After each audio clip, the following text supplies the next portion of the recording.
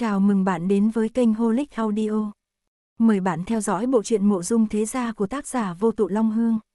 Nếu yêu thích video hãy nhấn theo dõi kênh và để lại bình luận bên dưới nhé. Nếu đem hoàng đế ca ca so với đám tiểu tử này thật sự là quá khập khiễng, nghe ta đáp xong cả lũ đứng đó ngây người, nhân cơ hội ta vung roi thúc ngựa chạy đi mất, bọn họ có đuổi cũng không kịp. Trong lòng cứ nghĩ đến hoàng đế ca ca uy phong tuấn tú đang ở Bắc Kinh chờ ta, ta liền cảm thấy rất đắc ý, rất đắc ý. Chỉ chớp mắt, đã thấy có cô nương nhìn A Thát mà ca hát. Hắn ở nhà của ta được ăn ngon cho nên dáng người cũng rất tốt, trong khi ở nơi ngoại tộc này thì diện mạo của hắn cũng không bị xem như quái dị, cho nên sự hoan minh cũng không kém so với các ca ca, thường có cô nương nhìn hắn bằng ánh mắt tình tứ. Nhưng mà cái tiểu nô lệ này dám can đảm có ý muốn đánh hoàng đế ca ca, ta làm sao có thể để cho hắn khoái hoạt. Ta nhất khẽ giật dây cương cưỡi ngựa chạy đến bên cạnh hắn, dùng ná bắn cho hắn mấy viên đạn thuốc mắt miệng méo xẹo. Chỉ chốc lát, hắn đã trương ra bộ mặt đáng sợ y như lúc trước khiến cho vị cô nương kia kêu thảm mà chạy xa khỏi hắn. Bibi, cái này hình như eo eo đang ăn giấm chua, có hơi giấm a. Mũ mũ. Tam ca khẽ lắc đầu sau đó chạy qua cho hắn thuốc giải, hắn lại khôi phục nguyên lai bộ dáng, nhưng mà sai đó cũng không cô nương nào dám tới gần hắn. Ta ở một bên ha ha cười, hắn căm hận nhìn ta, cắn răng nói, ngươi là ác ma. Ta giơ lên roi dọa hắn một chút, vậy ngươi chính là ác ma nô lệ, ta sẽ cho ngươi sinh hoạt tại địa ngục. Ta dọc theo đường đi cứ lấy việc trêu cho A Thắt làm vui.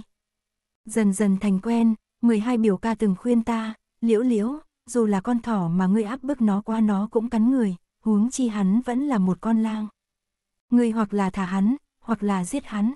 Ngươi như vậy nhục mạ hắn, rồi sẽ có một ngày hắn cắn lại ngươi. Ta lơ đỉnh, sợ cái gì? Hắn có thể đánh được ta sao? Ngay cả A xòa hắn cũng đều đánh không lại, ta chỉ cần dùng một ít dược là có thể làm cho hắn không động đậy. Các ca ca khác cũng nói, đúng vậy, còn có chúng ta bảo hộ liễu liễu, chẳng lẽ còn sợ cái ngốc tiểu tử kia có thể dám làm gì sao? Cứ để liễu liễu cao hứng đi. 12 biểu ca lo âu thở dài, không nói cái gì nữa. À, A thắt đem ánh mắt cừu hận hướng nhìn về ta. Ai biết báo ứng liền nhanh như vậy mà đến chứ, ta đã quên trên đời còn có ông trời, nếu như ông trời muốn chỉnh lý ta, thì dù nhiều ca ca như thế nào cũng bảo hộ không nổi. Lúc chúng ta đang đi núi tuyết thì gặp tuyết lở, ta bị tuyết đẩy vào một cái vết nứt trong lòng núi. Ta sau khi hôn mê tỉnh lại, phát hiện các ca ca cùng A xòa cũng không ở đây, chỉ có A thát đang lườm ta bằng ánh mắt giống như lang sói. Ta bất giác lo sợ, trên tay hắn cầm câu chủy thủ cây gậy lớn, trong khi ta bị hắn dùng mảnh vải trói lại, ngay cả đầu ngón tay cũng không động đậy được. Ta biết hắn muốn giết ta không phải một ngày hai ngày, phòng chừng là có chạy cũng không thoát. Không nghĩ nay trước mặt thối thắt tử có thể đánh rơi thể diện, cho nên ta chừng mắt nhìn hắn nói, tử thắt tử, người nếu dám để cho ta chết thì dù có bất kỳ chuyện gì xảy ra, ta thành quỷ cũng sẽ không buông tha ngươi. Hắn cầm chủy thủ để trước mặt của ta, hung tợn nói, tiểu yêu nữ, ngươi cũng có ngày hôm nay. Ta hôm nay thật muốn khắc hoa trên mặt của ngươi, sau đó ta còn muốn đi giết hoàng đế ca ca của ngươi. Ta quật cường chừng mắt nhìn lại hắn, cố gắng cầm cự không cho nước mắt chảy xuống, ngươi cho dù có muốn sách giày cho hoàng đế ca ca cũng không xứng, hắn nhất định sẽ báo thù cho ta. Trong mắt của hắn hiện lên tức giận, chết đã đến nơi còn già mồm. Hắn giơ lên trùy thủ. Bibi, sao giống ăn giấm chua quá nhỉ? Cuối cùng, ta biết ta khó thoát cho nên ta nhanh chóng nhắm hai mắt lại. Nhưng đợi nửa ngày cũng không thấy trùy thủ hạ xuống. Mở mắt ra nhìn hắn, hắn vẫn oán hận nhìn ta, nói, ta không giết nữ nhân. Người ở chỗ này chậm rãi chờ chết đi. Hắn dùng trùy thủ phá băng, hướng lỗ thủng đi ra ngoài. Cuối cùng ở đây chỉ còn lại có ta, lúc đó ta thấy sợ hãi lắm, nước mắt sốt cục cũng chảy ra. Ta nghĩ tới hoàng đế ca ca, cha mẹ, các ca ca còn có nhiều người thân. Không thể tưởng được ta muốn làm gì thì làm, sống vui vẻ khoái lạc đến bây giờ, nhưng lại vô thanh vô tức chết ở chỗ này. Ta càng khóc càng lớn, sau đó bỗng nhiễn có hai tay đem ta ôm lấy, cởi bỏ những mảnh dây buộc trên người của ta. Ta khóc khàn cả giọng, hai mắt đẫm lệ mông lung, cũng không cần biết là ai, chỉ cảm thấy giống như nắm được một phao cứu mạng, bổ nhào vào lòng hắn dùng sức khóc. Ta khóc được một chập, người kia cũng không nói gì, chỉ ôm ta vỗ về, khiến cho tâm của ta bắt đầu ổn định. Ta khóc xong, lau khô lệ, vừa nhấc đầu lên mới phát hiện người kia dĩ nhiên là A Thát. Không biết khi nào thì bộ dạng hắn lại cao lớn như vậy, ôm ta giống như ôm tiểu hài tử, diễn cảm trên mặt không hiểu sao lại là đau lòng. Ta biến sắc, dùng sức đẩy ra hắn, tử thắt tử, người dám chiếm tiện nghi của ta. Một bên đưa tay tìm kiếm túi dược. Hắn cũng thay đổi sắc mặt, dơ ra một cái gói to, nhìn ta, là tìm cái này sao? Ta nhìn nhanh qua cái túi, chính là túi thuốc của ta, ta ngưng tay không tìm kiếm nữa, oán hận nói ta nhất định sẽ không bỏ qua cho ngươi. Hắn lên giọng mỉa mai, hừ, người nếu không có mấy thứ này, người cũng chỉ là một nữ nhân vô dụng thôi. Hắn nói đúng, hiện tại ta không có dược, không có A xỏa, không có các ca ca. Lúc trước bởi vì sợ gặp bất chắc, cho nên ta đã giấu biểu ca dạy cho hắn mộ dung ra nội công tâm pháp, hắn tu luyện rất chuyên tâm, căn bản cũng tốt, hiện tại võ công cũng cao hơn nhiều so với ta, cho nên ta chỉ có thể để mặc hắn sâu xé. Tự nhiên lại nghĩ đến các ca ca, cũng không biết là chết hay sống, ta bất chấp mặt mũi, nhịn không được bèn khóc giống lên. Hắn tức giận nói, nữ nhân chính là phiền toái, không biết ở đâu lại có nhiều nước mắt như vậy. Nhưng nói thì nói, hắn vẫn nhẹ nhàng đưa khăn tay đến trước mặt ta chương 7 Hắn lôi kéo ta đi ra khỏi nơi này bằng một khe hở nhỏ, lúc này đã là xế chiều, mặt trời đã ngã về Tây, chung quanh tuyết trắng mờ mịt, ngay cả một bóng ma quỷ cũng không thấy. Ta đoán hắn chắc chắn là đang sợ hãi sẽ có một ai đó trở về cứu ta. Chúng ta dựa vào mặt trời để xác định phương hướng, hướng về phía chân núi mà đi. Ta sau khi bị ngã xuống, cả người đều đau, đi được một chút là cảm thấy rất mệt mỏi đau đớn. Hắn than thở một câu, đúng là nữ nhân phiền toái, sau đó ngồi xổm xuống ở phía trước ta nói, leo lên, ta cõng ngươi.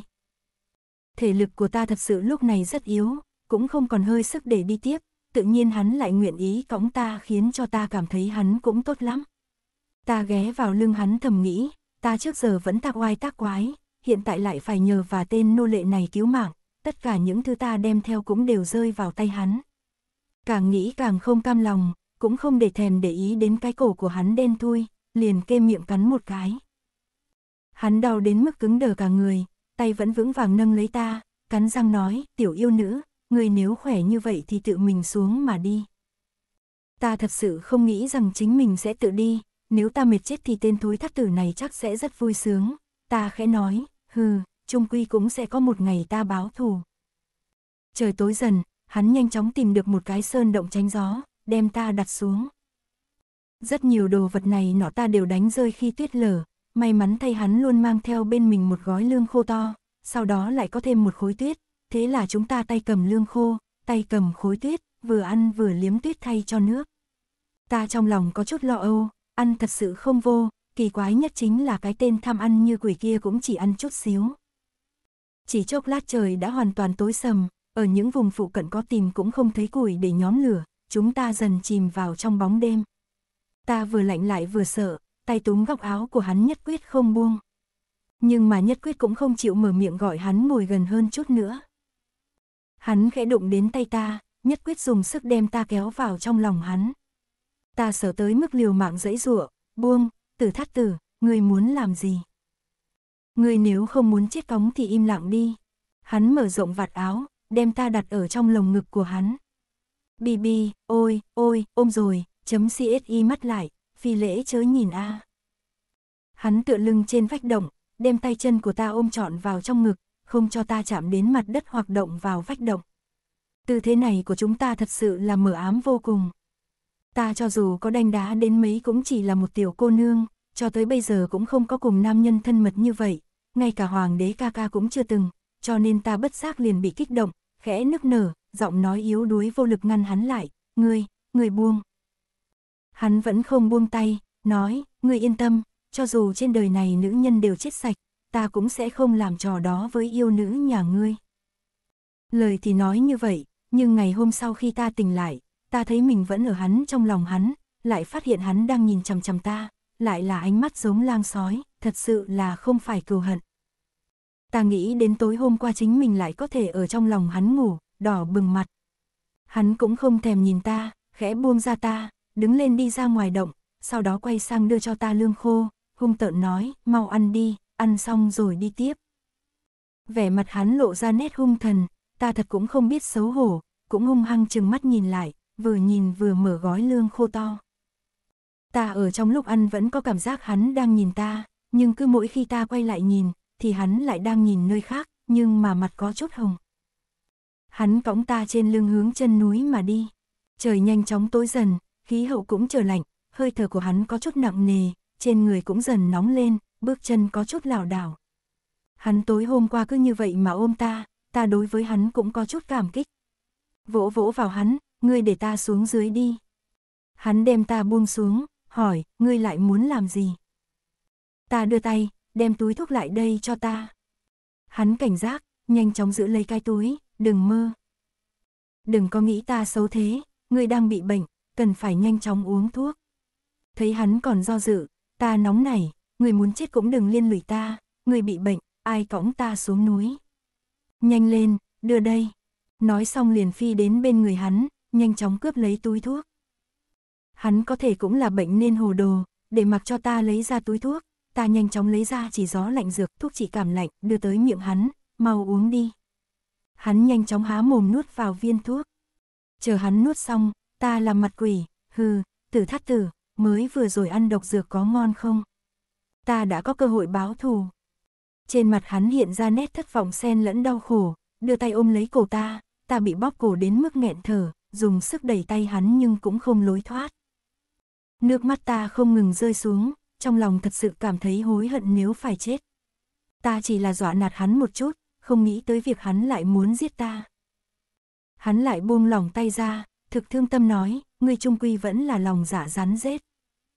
Ta ngã sấp ở trên mặt tuyết, hít lấy hít để không khí, vừa ủy khuất lại vừa phẫn nộ, nắm lấy tuyết khối lớn hướng phía hắn mà ném, tử thắt tử, làm ơn mắc oán, dược đắt tiền như vậy, xa hoa như vậy ta cho ngươi uống, thế mà ngươi lại muốn hại ta. Hắn vẻ mặt ngẩn ra, hiện ra sắc mặt vui mừng, không phải độc dược. Ta oán hận nói, ta thực hận rằng đó không phải độc dược. Ngươi đúng là đồ nhát gan, quỷ sợ chết. Hắn đưa tay kéo ta đứng lên, biện hộ ta không sợ chết. Ta đứng dậy, cơn giận còn sót lại vẫn chưa tiêu, dùng sức đánh hắn, tử thắt tử, lệ oán trả ơn, ngươi chính là người nhát gan, đồ đần, đứa ngốc. Hắn thần tình ấy náy, đưa tay vuốt ve cổ của ta, xin lỗi, trách ta không tốt. Bây giờ còn đau không? Lúc trước dù cho ta có như thế nào làm nhục hắn, hắn đều chỉ là trừng mắt lang sói nhìn ta, quyết không chịu thua, nhưng bây giờ trong lúc này, bàn tay hắn chạm vào làn da ta thật sự có cảm giác là lạ. Ta khẽ ôm lấy cổ, ngươi bị bệnh gì? Vì sao lại không mắng ta là yêu nữ, cũng không còn hung tợn trừng mắt nhìn ta. Hắn lại dùng ánh mắt ôn nhu nhìn ta, ta hiện tại đã biết, ngươi tâm địa cũng không xấu xa đến như vậy, đương nhiên là sẽ không chửi mắng ngươi. Hiện tại cũng chỉ còn hai người chúng ta, về sau chúng ta không cần cãi nhau nữa. Hừ, ai nói chỉ còn hai chúng ta, các ca ca của ta nhất định là không có việc gì. Cho nên ta cũng không cần để ý ngươi. A thắt bệnh tình cũng không có tăng thêm. Nhưng mà ta phát hiện A thắt mỗi lần ăn cơm chỉ ăn một chút, nhưng mà lại cứ đi tìm hang chuột để bắt chuột, thậm chí hắn còn muốn ăn cả con chuột. Ta thật sự cảm thấy rất ghê tởm nhưng cũng cố gắng kiềm chế cảm xúc, hỏi hắn vì sao lại không ăn lương khô. Hắn nói, cũng không biết đến lúc nào mới có thể có người đến cứu, người thân mình quý giá, không giống ta, ăn cái gì cũng được. Cho nên về điểm này, lương khô vẫn là nên tiết kiệm để ngươi từ từ ăn. Bibi, ôi, thát ca, em yêu anh quá. Chẳng lẽ từ bữa đến giờ ngươi không ăn là muốn để dành cho ta ăn sao? Ngươi là đôi chân của chúng ta, ngươi phải ăn nhiều một chút mới có sức để cõng ta, có như vậy mới có thể đi nhanh tìm kiếm mọi người. Mau ăn đi, ta cũng không nghĩ tới hắn lại lo lắng cho ta như vậy, tuy rằng vẫn là giọng điệu hung tợn nhưng không biết như thế nào ta lại cảm thấy thật ấm áp. Chúng ta cứ như vậy cũng không có ai nói thêm với ai câu nào. Hắn đem những thứ đồ của ta trả lại cho ta. Đúng giờ ngọ, khi mặt trời chiếu trên mặt tuyết trắng trói lọi, ta cố gắng chịu đựng sự đau lòng, đem cái khăn lụa hoàng đế ca ca tặng cho ta cắt thành hai nửa, cho hắn một nửa, che mắt lại, bằng không sẽ bị choáng vì ánh sáng của tuyết. Ngẫm lại tự nhiên lại cảm thấy xót của, ta ở trên lưng hắn, khẽ cúi đầu nói vào lỗ tai hắn, đều là bởi vì ngươi, bằng không ta cũng không cần hủy chiếc khăn lụa này. Hắn nói, trở về sau, ta sẽ bồi thường cho ngươi. Ta hừ lạnh một tiếng, ngươi bồi thường nổi sao? Đây là cống phẩm của Tây Dương cống nạp được dệt bằng băng tơ tằm, cả đại minh này trừ ta cùng hoàng đế ca ca ra thì dù cho ngươi có tiền cũng mua không được. Hắn thanh âm dầu dĩ nói, hắn có thể cho ngươi cống phẩm, ta cũng có thể cho ngươi. Hừ, xàm ngôn. Hắn hiện tại là người quan trọng nhất cho nên ta sợ hắn nhiễm bệnh, đem túi thuốc lấy ra thuốc bổ cho hắn uống. Thật sự là không muốn để cho hắn ăn con chuột, lương khô cũng buộc hắn phải ăn. Hắn thật ra vốn là không có bệnh gì nặng, cho nên đến ngày thứ tư, lương thực đều hết, thuốc cũng không còn cho nên ta cũng ngã bệnh. Ta ghé vào lưng hắn mê man tiếp đi. Hắn sợ ta ngủ quá nhiều, cho nên cứ liên tục cùng ta nói chuyện. Hắn kể về những chuyện trước đây của hắn, kể về người nhà của hắn, những chuyện đó rất không thú vị, thế là hắn lại hát, giọng hát lại khàn khàn, làm cho ta không có cách nào có thể ngủ được. May mắn thay, đến ngày thứ năm, chúng ta rốt cục cũng gặp được các ca ca, bọn hắn cũng coi như may mắn, bằng vào võ nghệ cao siêu cho nên đều thoát hiểm. Nhưng mà lại không thấy A xỏa, ta thật chỉ mong nó không có việc gì, không biết nó có thức ăn để ăn hay không. Các ca ca chứng kiến đi cảnh A thắt bước đi tập tĩnh trên lưng lại cong theo ta đang hấp hối, từ từ xuất hiện, bọn hắn đều khóc. Thập nhị biểu ca nói, A thát, là ta đã hiểu sai về ngươi. Liễu liễu, chúng ta không nên để cho ngươi như vậy mạo hiểm, chúng ta về nhà đi. Ta chỉ nghĩ, rốt cục có thể không phải nghe A thát hát nữa, ta cuối cùng cũng có thể ngủ một giấc ngon lành. Ta ngủ một mạch mất nửa tháng, sau khi tỉnh lại mới biết tỉnh lại mới biết mình nằm đã nửa tháng. Các ca ca cũng yên tâm để cho A thắt chăm sóc ta. Hắn mỗi ngày đều bế ta đi ra ngoài phơi nắng, cho ta uống thuốc, buổi tối còn gác đêm cho ta ngủ. Ta là bệnh nhân cho nên tâm tình buồn bực, tính tình cực kíp dễ thay đổi, thường hay ném đồ vào hắn, đánh hắn, nhưng hắn cũng không có mắng ta, khi dễ ta, lại còn luôn nhẹ lời an ủi ta. Hắn biến thành như vậy ta cũng không nỡ lòng nào ngược đãi hắn nữa, cho nên ta đối với hắn cũng có chút ôn hòa, hắn vì thế mà tâm tình rất tốt, vui vẻ ra mặt, đối với ta chiếu cố ngày càng tận tâm. Hắn hầu hạ ta trải đầu, ở trên gương đồng ta cuối cùng cũng phát hiện thấy trên khuôn mặt thô lễ của hắn tràn đầy ôn nhu, thật cẩn thận vuốt ve tóc của ta, tựa hồ giống như là đang nâng niu vật rất chân quý, giống như là sợ chỉ cần mạnh tay một chút liền vỡ nát. Trước khi ta ngủ, hắn thường ngồi hát dân ca quê hắn cho ta nghe, làn điệu thê lương, ca từ phong cách cổ xưa, nhưng khi hắn hát nghe lại rất xúc động. Ta tuy rằng chẳng bao giờ thèm để ý tới nhưng kỳ thật ta cũng thích nghe. Tiếng ca đó theo ta đi vào trong mộng, làm cho ta ngủ cũng thật sự an tâm. Một thời gian sau khi sức khỏe của ta hồi phục mới tiếp tục lên đường, nhưng mà A Thát vẫn cứ như cũ, ôm ta vào lòng bế đi. Ta nằm trong ngực hắn cảm thấy rất ấm áp và rộng lớn, cánh tay cũng rất mạnh mẽ, mặc kệ đường đi có nhiều gập ghềnh nhưng mà hắn luôn che chở ta làm cho ta không cảm thấy sốc này. Các ca ca cũng bắt đầu tận tâm hết sức dạy cho A Thát võ công cùng y thuật. Ta hướng các ca ca kháng nghị, các ca ca lại nói, các ca ca không thể bảo vệ ngươi cả đời, A Thát là một người tốt, đáng để phó thác ngươi cho hắn. A Thát thật sự rất chiếu cố ta, đi theo các ca ca khắc khổ học tập, vẫn là dùng ánh mắt lang sói nhìn ta, nhưng trong ánh nhìn đã không còn cừu hận. Ta cũng không phải đứa trẻ ngây thơ, ta hiểu ánh mắt của A Thát. Trước kia, hoàng đế ca ca cũng dùng ánh mắt này nhìn ta. Nhưng mà năm đó, ta thật sự là không hiểu hoàng đế ca ca có ý tứ gì. Thừa lúc chúng ta dừng lại tạm nghỉ chân, ta nói với thập nhị biểu ca, biểu ca, để cho A Thát trở về đi. Thập nhị biểu ca nói, liễu liễu, ngươi hẳn là đã nhìn ra, A Thát hắn đối với ngươi có tâm ý, ngươi hiện tại cũng không không ghét hắn đúng không? Ta thấp giọng nói, nhưng mà ta đã đáp ứng hoàng đế ca ca, về sau sẽ ở bên cạnh hắn. Cảm ơn bạn đã ghé thăm kênh Holic Audio. Thập nhị biểu ca nói, tiểu hài từ khi hứa hẹn, làm sao có thể xem là thật. Người cần phải suy nghĩ cho kỹ. Sau khi thập nhị biểu ca rời đi, ta ngửa mặt lên nhìn trời và núi khẽ thở dài, vừa quay đầu lại đã thấy A Thát đứng ở dưới bóng cây, hung tợn chừng mắt nhìn ta. Ta nhìn hắn, liếc mắt một cái, làm gì thế? Muốn làm ta sợ chết ga. Hắn đi đến trước mặt ta, ta sẽ không bao giờ rời đi nói xong liền nổi giận đùng đùng. Trước kia hắn muốn chạy trốn, trốn cũng không thoát, hiện tại ta như thế nào đuổi hắn, hắn cũng không đi. Các ca ca cũng không tiếp tục đứng về phía ta, tất cả đều giúp đỡ hắn, còn nói ta không đúng. Hắn đã học xong y thuật của nhà ta cho nên cũng không sợ ta chơi xỏ hắn nữa. Ta cố ý ở trước mặt hắn nói hoàng đế ca ca thật là tốt, hắn nghe xong rất tức giận nhưng trước sau như một, vẫn là không chịu rời đi, đã thế còn nói, hoàng đế ca ca của ngươi so với ngươi lớn tuổi như vậy, đã muốn trở thành một lão nhân, hắn không có sức lực để cùng ngươi đi du sơn ngoạn thủy. Nhưng mà ta thì có thể, ngươi muốn đi, ta sẽ cùng ngươi đi. Ta tức giận nói, nói bậy, hoàng đế ca ca không phải lão nhân, ngươi ngay cả một cái đầu ngón tay của hoàng đế ca ca cũng không sánh bằng. Hắn chịu đựng tức giận, nói, hắn sẽ không vì ngươi mà vứt bỏ ngôi vị hoàng đế, ngươi nếu ở cùng với hắn, cũng chỉ có thể thấy hoàng cung thật nhàm chán.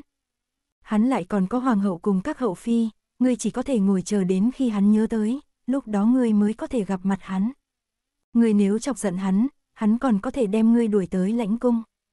Trong khi ta vì ngươi đến nhà cũng có thể không trở về, ta suốt đời này sẽ chỉ thích mình ngươi, mặc kệ ngươi đối với ta phát cáu hay là làm chuyện xấu, ta đều thích ngươi. Ta bịt hai cái lỗ tai lại, ngươi câm miệng, ta không thích nghe ngươi nói bậy. Nhưng mà trong lòng ta lại không thể không thừa nhận, những lời hắn nói đều đúng, mấy năm nay ta ở bên ngoài cũng có không quay về, theo bản năng chính là đang trốn tránh chuyện gặp lại Hoàng đế ca ca. chương 8 Tuyên đức năm thứ 9, cuối cùng ta cũng đã hạ quyết tâm, đi về kinh thành. A Thát cũng đi theo nhưng mà ánh mắt ngày càng đau thương. Ta nghĩ đến Hoàng đế ca ca, dù sao thì ta cũng đã quyết tâm rồi. Ta đi đã được 3 năm, Hoàng cũng vẫn thế không thay đổi. Ta nhanh chóng đi tìm Hoàng đế ca ca. Hắn vẫn như vậy, vẫn phong thái nhẹ nhàng, vẫn là bộ dáng ta thích nhất. Nhưng nếu nhìn kỹ một chút có thể thấy mắt của hắn giác đã có chút nếp nhăn, chán cũng đã có vài dấu vết hằn lên của thời gian. Chúng ta gặp lại rất là xúc động, ta khóc, hắn cũng đỏ hốc mắt. Đem ta gắt gao ôm vào trong ngực, liễu liễu hư, đến bây giờ mới chịu trở về. Như thế nào lại vừa gầy vừa đen như vậy? Hoàng đế ca ca vẫn giống như trước đây, một mực quan tâm ta, trong ánh mắt nhìn ta cũng không còn che giấu tình yêu nữa. Hắn mang ta đến một căn phòng sát vách với ngự thư phòng.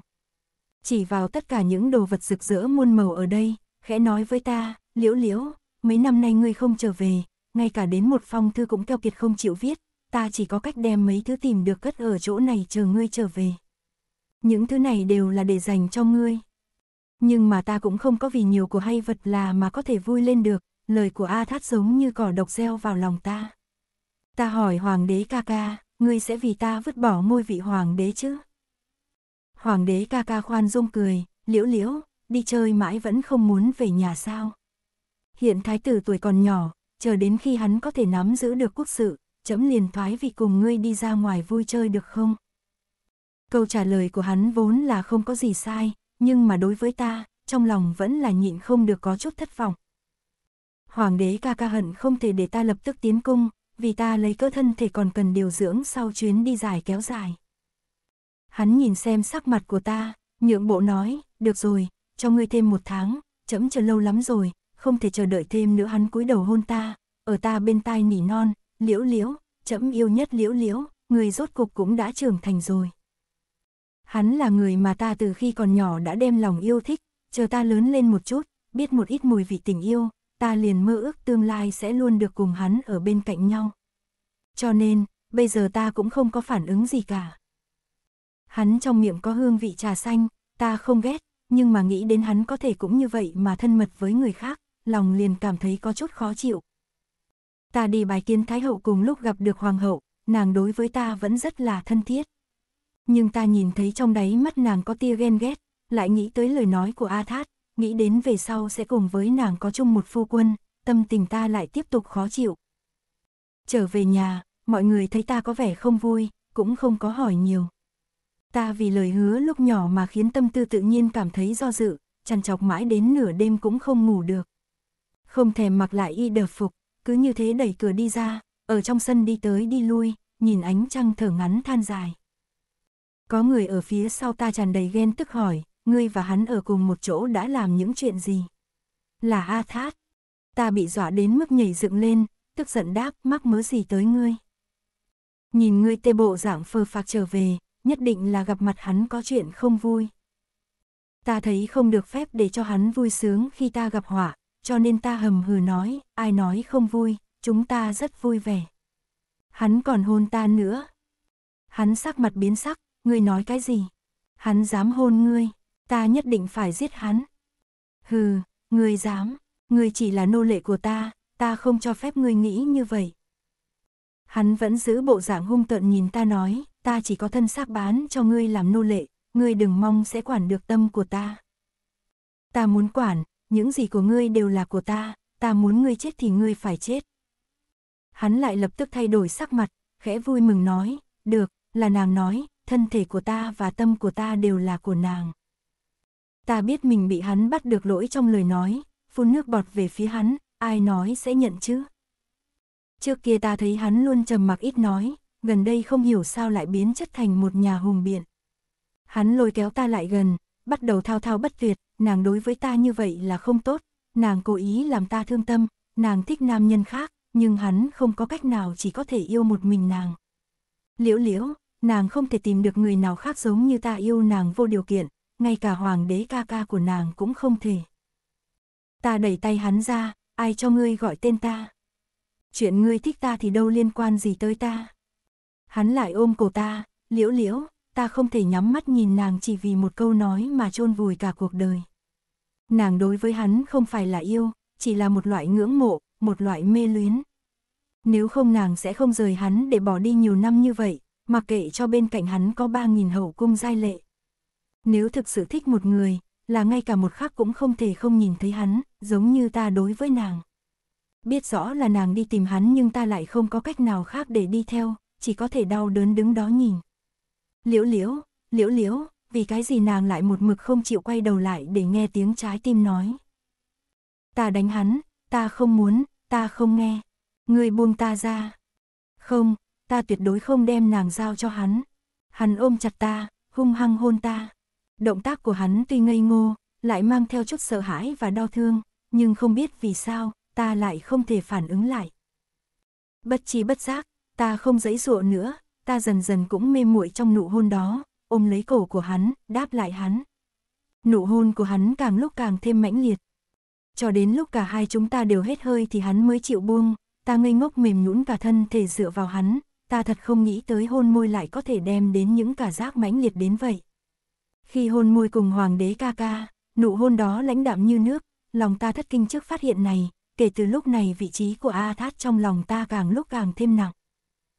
Hắn khẽ đặt nhiều nụ hôn vội vã lên trên gương mặt ta, liễu liễu, liễu liễu, nàng là của ta, nàng là của ta. Ta vẫn không có cách nào để có thể kiên quyết đẩy hắn ra, chỉ có thể yếu đuối khóc, ngươi không nên ép ta. Không phải ta đang ép nàng, là nàng đang ép chính nàng và ta. Hắn hôn lên những giọt nước mắt của ta, lại một lần nữa đáp nụ hôn lên môi ta. Ta thực không cách nào cưỡng lại được nữa, lại một lần nữa mê muội. Ta hỏi hắn, ta trước kia đối với người xấu xa như vậy, người như thế nào còn có thể thích ta? Hắn nói, ta nguyên lai cũng đã tưởng là ta hận của nàng, hận không thể giết nàng.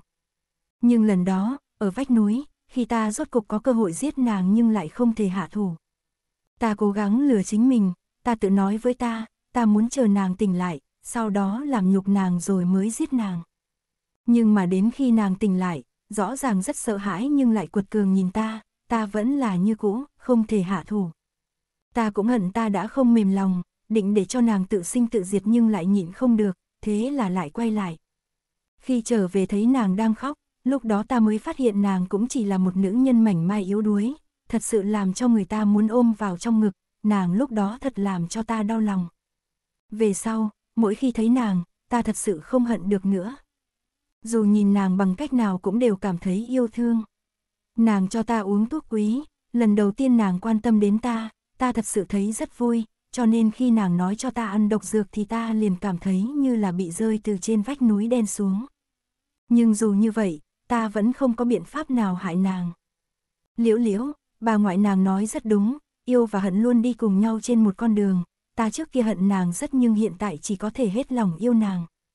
Biết rõ nàng đối với ta chính là tâm địa ngoan độc, nhưng ta không có biện pháp nào để không thích nàng. Nàng nếu nhất định theo hắn, ta nhất định sẽ giết hắn.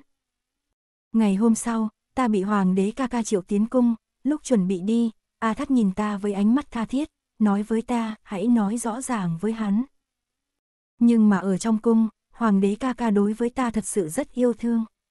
Hắn tự mình giám sát xây dựng riêng cho ta một tầm cung lộng lẫy, hắn còn cho ta chọn lựa hỷ phục khi đại hôn, hắn lại còn đem rất nhiều bảo vật ban cho ta. Hắn chăm chú nhìn ta hỏi liên tục, lúc thì, liễu liễu, nàng có thích không? Lúc khác lại, liễu liễu, cái kia có hợp ý của nàng không? Rồi lại, liễu liễu, vì sao trông nàng có vẻ không vui? Trừ việc hái sao trên trời ra, còn lại, nàng muốn cái gì chấm đều có thể đem đến cho nàng. Đối mặt với ánh mắt nóng bỏng tràn đầy yêu thương của hoàng đế ca ca, ta thực sự không nói nên lời. Về đến nhà, A Thắt thất vọng nhìn ta, vừa yêu vừa hận hôn ta. Ta cũng luyến tiếc khẽ đẩy ra hắn. Ta kẹt ở giữa bọn họ, tiến thoái lưỡng nan, cho nên đành phải giả bộ bệnh để tránh hoàng đế ca ca, kéo dài thời gian nhập cung. Nhưng mà, ông trời thấy ta bấn loạn như thế cho nên tự quyết định cho ta một cái kết thúc. Tuyên đức năm thứ 10, tháng riêng, hoàng đế ca ca lâm bệnh cấp tính, rất mực nguy hiểm.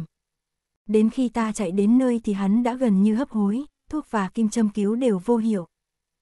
Hắn lưu luyến nhìn ta, cố gắng dặn ra một nụ cười, nói, liễu liễu, chấm không thể đảm đương nổi lão bà xinh đẹp nàng nữa rồi. Là chấm rất ích kỷ, biết rõ nàng trong lòng thích người khác, nhưng lại không muốn buông tay, còn muốn dùng mọi cách để giữ nàng lại bên cạnh. Nhưng thật sự là trọi không lại ông trời, nàng đừng vì chấm mà thương tâm đau lòng, hãy cùng người mình yêu sống thật vui vẻ hạnh phúc nhé. Thực sự xin lỗi, hoàng đế ca ca, đều là ta sai, nếu ngươi có thể khỏe lại, về sau ta sẽ vĩnh viễn chỉ thích mình ngươi, ngươi có đuổi ta ta cũng không đi, suốt đời ở lại trong cung cùng ngươi. Ta ghé vào bên giường hắn, khóc không thành tiếng, trong lòng tràn đầy áy náy.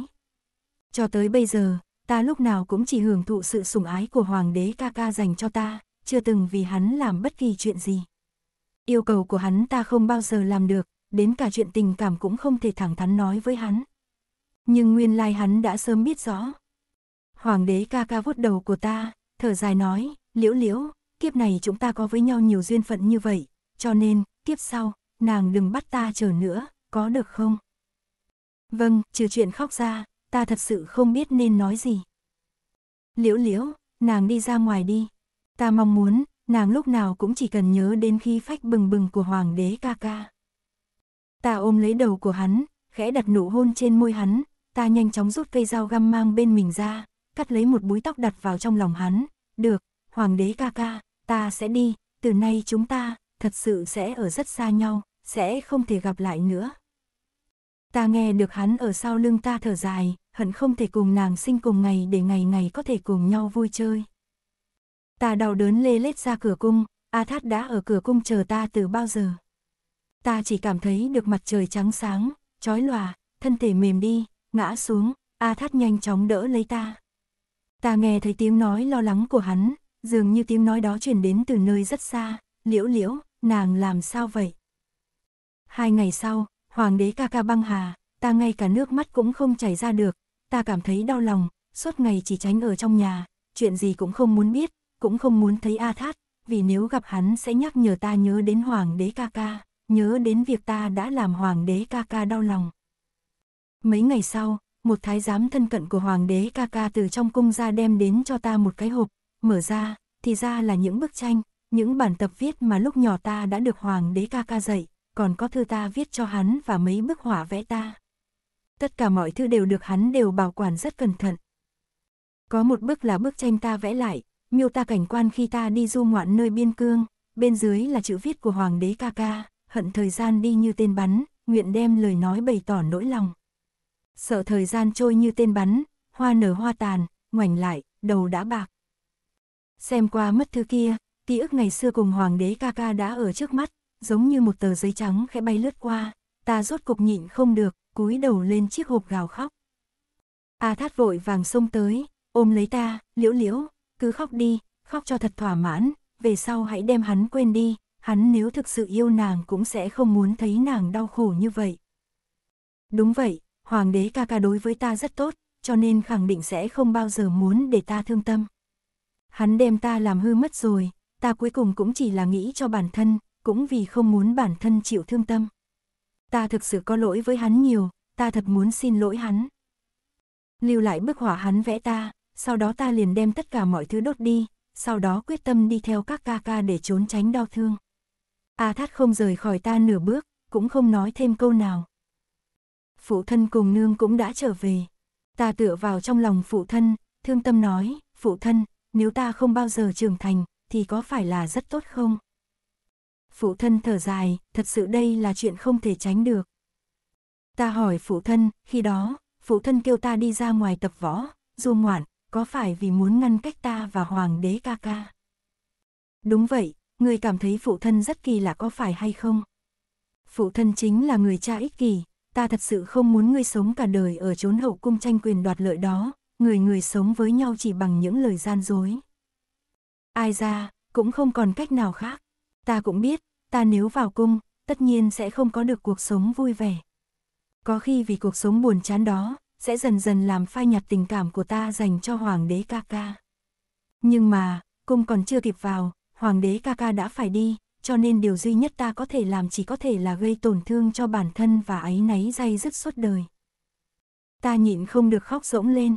Phụ thân nói, liễu liễu, người một khi đã làm thương tâm một người, cũng không có cách nào có thể cứu vãn, nhưng không nên vì thế để người khác tiếp tục thương tâm. Bên cạnh ngươi có một người đã chờ đợi ngươi rất lâu rồi. Ta quay đầu lại, là A Thát, phụ thân ngoắc tay gọi hắn lại gần, đem ta đặt vào trong lòng hắn, người trẻ tuổi, nữ nhi của ta giao cho ngươi, bất kể gặp chuyện gì, ngươi đều phải đem sự an toàn của nó đặt lên hàng đầu. A Thát ôm lấy ta, nhìn phụ thân hứa hẹn, chỉ cần ta còn sống, tuyệt đối không bao giờ đế nàng chịu ủy khuất. Phụ thân đi rồi, A Thát nói với ta, liễu liễu, nếu nàng muốn vì hắn mà khóc, chỉ cần tựa vào trên người của ta khóc, nàng nếu quên không được hắn, cũng chỉ cần ở trong lòng ta tưởng nhớ hắn. Mặc kệ như thế nào, ta đều thích nàng, nàng có thể an tâm ở lại bên cạnh ta. Thể xác và tinh thần ta đều đã mệt mỏi, khẽ dựa vào hắn, thấp giọng nói, được. Chuyện tình của Hoàng đế ca ca được viết thành một ca khúc, được một danh ca tên là Vô Tụ Long Hương hát như thế này. Quay lưng ôm lấy thiên hạ. Tiếng tăm vang khắp mọi nơi. Ta ở trên ngôi cao quyền quý. Nhưng mãi mãi chỉ cô độc có một mình. Quốc gia có thể giành được. Nhưng người ta yêu thương thật sự khó tìm. Nàng chỉ cần nhẹ nhàng liếc mắt một cái. Dù có mất hết tất cả ta cũng cam tâm tình nguyện. Đừng nên cười u vương ngu đần. Chỉ vì một nụ cười của nàng. Đốt lửa chiêu ghẹo chưa hầu. Đừng nói kiệt, trụ hoang đản. Anh hùng thật khó qua ải mỹ nhân. Ta nguyện suốt đời chìm đắm trong ái tình của nàng, không bao giờ tỉnh lại. Quỷ quái cổ quái. Điêu ngoa ngây thơ. Nàng như nụ hoa chớm nở. Ngày và đêm cứ chậm chạp trôi qua. Nhưng cảnh xuân tươi đẹp thật khó nắm giữ. Thời gian dần trôi qua. Ta chỉ muốn níu giữ tuổi thanh xuân. Không đành lòng thấy trên đầu điểm hoa dâm. Trong khi hoa vẫn cứ muôn phần xinh đẹp. Mong muốn được ôm lấy đóa hoa xinh đẹp không bao giờ buông tay. Kiên nhẫn ngày ngày ngắm nhìn. Hận ta sinh sớm nàng sinh muộn. Không được ngày ngày cùng nhau vui đùa. Cho dù ta có ôm cả thiên hạ, nhưng tâm nguyện mãi vẫn không thành. Hát đệm, ta sinh nàng chưa sinh, nàng sinh ta đã lão, hận không sinh cùng thời, ngày ngày cùng nàng vui sống. chương 9 Tất cả người thân của ta từ khắp mọi nơi đều đã trở về bên ta. Nương đã sớm giả chết ly khai triều đình, mấy năm nay luôn cùng phụ thân ở bên ngoài đi du ngoạn, nhưng mà đã nửa năm nay bọn họ cũng chưa đi ra ngoài. Ông nội gia cùng ngoại tổ gia luôn luôn có quan hệ rất tốt, lúc này cũng vì chuyện của ta, mà cố tình kéo đến đây làm láng giềng của nhau. Các ca ca mỗi ngày đều nghĩ ra rất nhiều trò chơi để làm ta vui vẻ. Thế nhưng đau khổ vẫn không có cách nào nguôi ngoai. Hoàng đế ca ca mất đi để lại ta giống như một đứa trẻ ngang ngược ích kỳ hụt hẫng vì mất đi điểm tựa vững chắc. Cho nên ta dần dần cũng học được cách thông cảm cho tâm tình của người khác. Ta hay cùng ông nội chơi cờ ta xoa bóp vai cho bà nội ta giúp bà ngoại chế tạo thuốc làm đẹp ta đọc sách cho ông ngoại nghe ta không hề đối với A thát cao gắt. Nhưng mà, ta càng cố gắng thì bọn họ lại càng thương tâm. Bà ngoại nói với ta, liễu liễu, hãy nhìn tâm tính và tướng mạo của con xem, chắc chắn sẽ là hồng nhan hỏa thủy hại nước hại dân. Hiện tại nam nhân khiến con trở thành hồng nhan hỏa thủy đã không còn, thật sự là không nên cảm thấy áy náy. Còn nếu có thể giống như nương con thì thật tốt, vô lo vô nghĩ, luôn rất sung sướng. Vậy mà sao lại giống như cha ngươi, tâm tư phức tạp như vậy chứ? Ai ra? Phụ thân nói, người Hán vốn trọng chữ tình đương nhiên sẽ không thể quên được chuyện đã qua. A Thát vẫn còn có người nhà, chỉ là vì ngươi không chịu quay về nên hắn cũng không về, chỉ bằng ngươi cùng hắn trở về thăm quê hắn đi. Vừa đúng lúc cửu ca ca của ngươi cũng ở bên đó buôn bán, có thể chiếu cố ngươi. Hãy đến nơi thật xa để quên hết mọi chuyện đi. Ta hiền thục đáp ứng, được. Mấy năm nay, A Thắt thật sự đã chứng tỏ được phong độ trong mắt bọn họ, bọn họ cũng thực coi trọng hắn, chuyện A Thắt đối với ta có tâm ý bọn hắn cũng đều biết, cho nên cũng yên tâm đem ta giao cho hắn. Người nhà ta sau khi thương nghị một lúc, cho rằng nên để cho ta cùng A Thắt thành thân, nếu thế thì sinh hoạt trên đường đi cũng có nhiều cái thuận tiện. Ta không phản đối, nhất nhất chấp nhận. Ta thật sự không muốn làm cho người thân của ta phải lo lắng thêm nữa. Hơn nữa phụ thân nói đúng, ta không thể tiếp tục làm tổn thương thêm một ai nữa. Nửa năm qua, A Thắt luôn một mực yên lặng ở bên cạnh ta, vô luận ta khi nào quay đầu lại, cũng đều có thể nhìn thấy hắn ở phía sau ta chờ đợi. Ta vì hoàng đế ca ca đau đớn đã hơn nửa năm, tất cả nước mắt đều đã thấm ướt vạt áo trước của hắn. Chọn được một cái ngày tốt, thế là ta cùng A Thắt thành hôn. Đêm tân hôn, vạch khăn đỏ ra, A Thắt nhìn ta, trong mắt mơ hồ ngấn lệ, liễu liễu, nàng nhất định sẽ không hối hận. Ta chính là vì nàng mà sinh ra, cho nên cũng có thể vì nàng mà chết đi. Nghe thấy chữ chết, ta thất khinh một chút, nhanh chóng lấy tay che cái miệng của hắn lại, không được. Ta tình nguyện chết trước.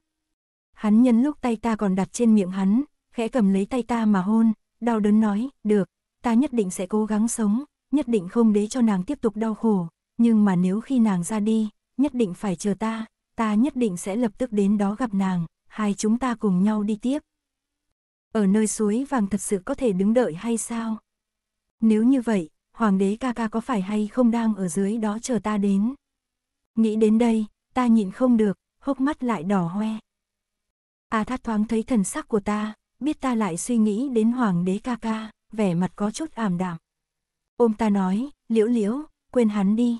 Nếu nghĩ đến hắn có thể làm cho nàng hạnh phúc, ta quyết không ngăn cản nàng.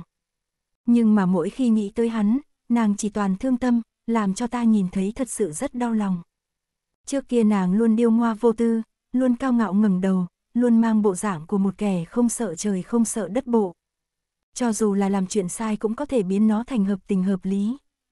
Khi đó ta hận nàng, lúc nào cũng ngóng trông có một ngày có thể làm cho nàng gục ngã, không thể tiếp tục hung hăng càn quấy.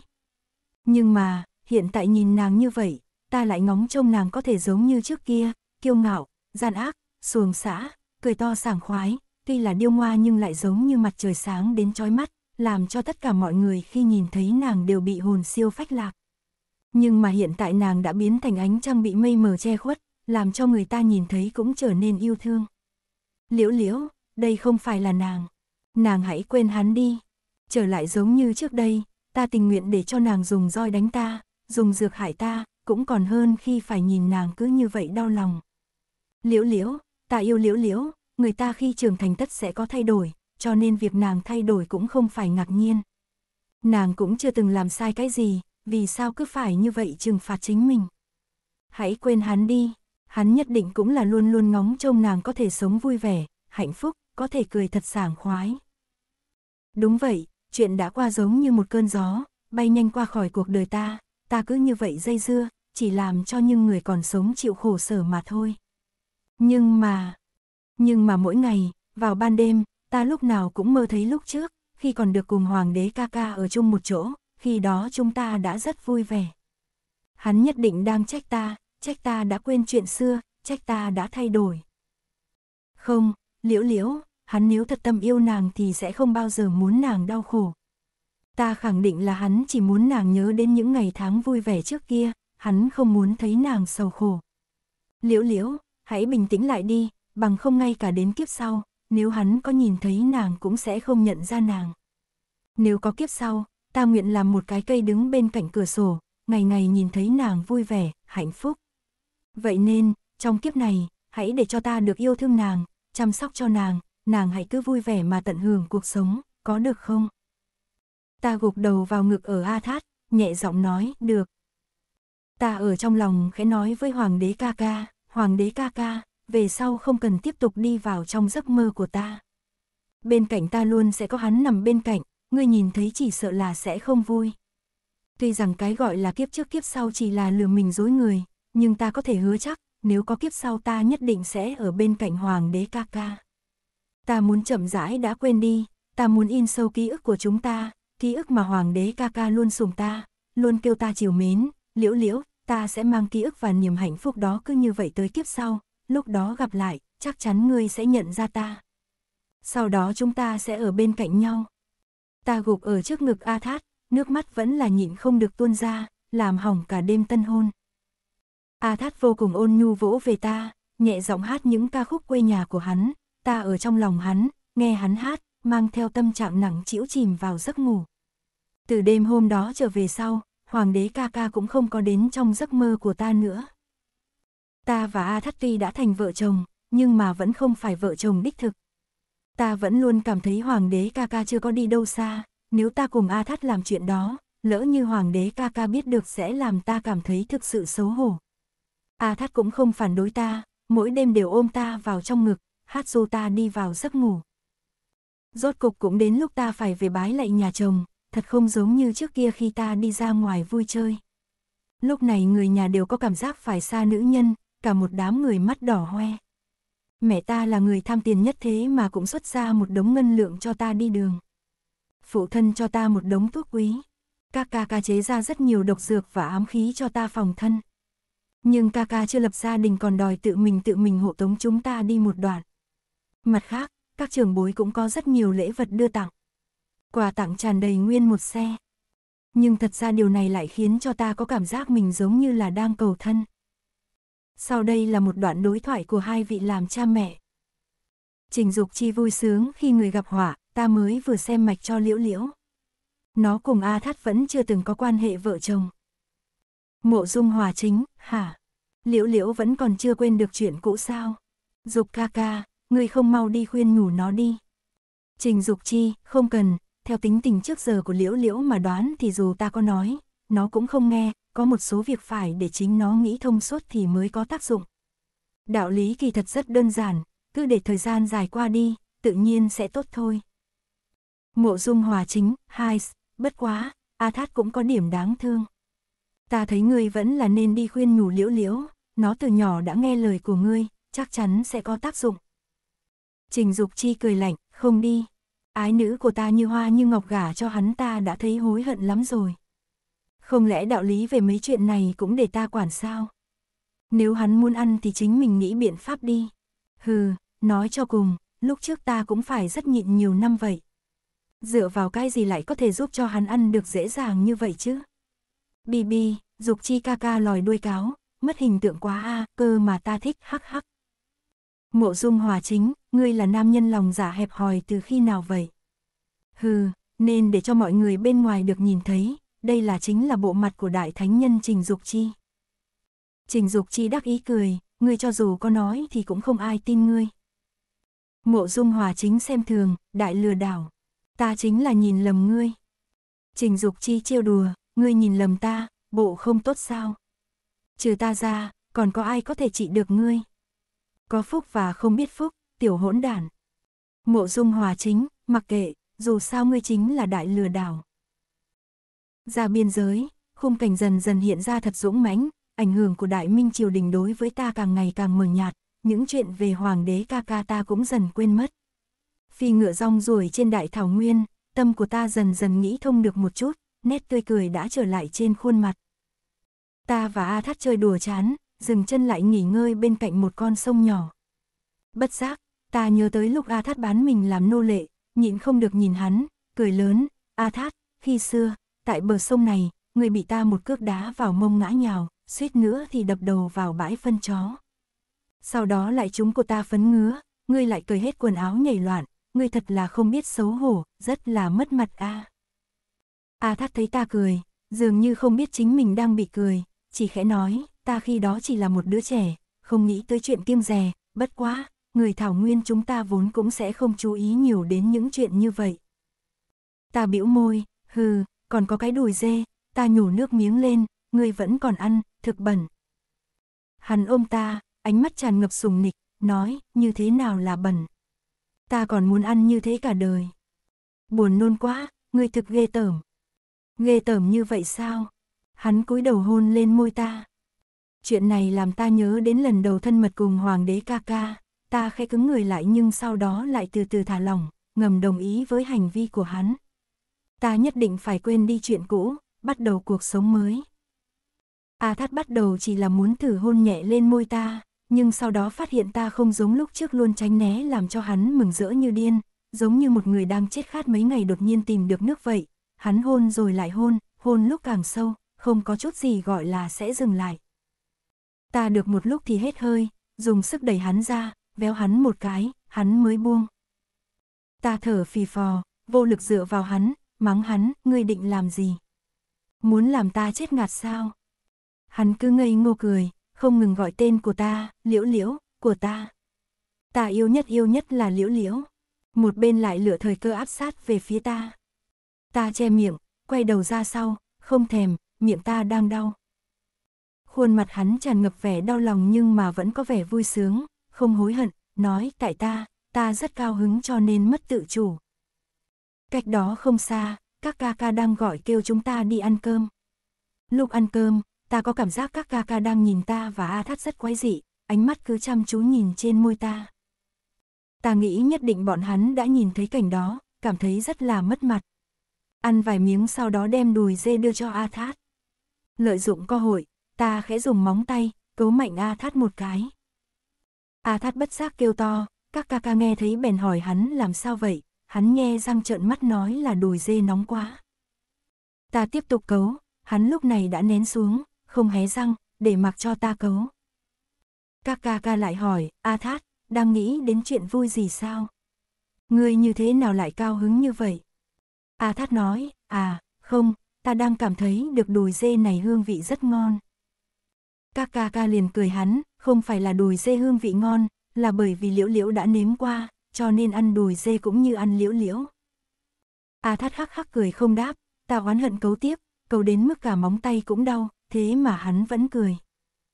Lát sau chúng ta lại lên đường, ta lặng lẽ hỏi hắn, người đúng là thích bị ngược đãi, bị cấu khắp người như vậy lại còn cười. Hắn vẫn cười, liễu liễu, ta thật cao hứng, cuối cùng nàng cũng đã trở lại. Hừ, ta liếc mắt lườm hắn một cái, lấy roi nhẹ nhàng đánh hắn một chút. Hắn lại mừng rỡ như bắt được vàng, nhìn ta, hát. Tại vùng đất xa xôi có vị cô nương rất tốt. Mọi người đi qua trại của nàng đều phải lưu luyến nhìn xung quanh. Nàng có khuôn mặt phấn hồng nhỏ nhắn giống như vầng thái dương.